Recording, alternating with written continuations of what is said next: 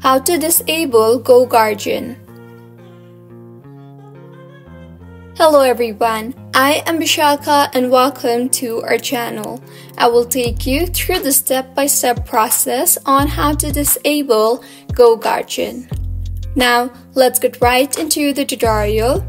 During holidays, snow days or shutdowns, districts and schools may want to disable all GoGuardian admin filtering and monitoring.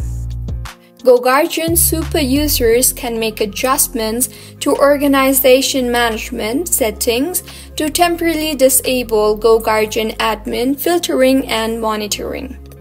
So, firstly, sign in to the manage.goguardian.com and navigate to product and then tap on general and scroll down to the section labeled as scheduling. Now, enable out of school mode and then disable both filter and monitor during out of school mode options.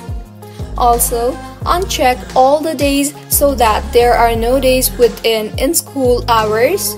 And lastly, remove any IP ranges. This configuration will disable all filtering and monitoring as students will be considered out of school 24 7 while filtering and monitoring during out of school mode are disabled. Be sure to set a calendar reminder for the date prior to school starting back up to reconfigure these settings with the appropriate days, hours, and IP ranges set to avoid causing any confusion or lack of filtering when school starts again.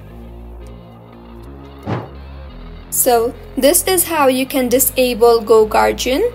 If you found the video helpful, smash that like button, comment if you have any queries, and be sure to subscribe to our channel Login Giants for similar helpful tutorials. See you on the next one.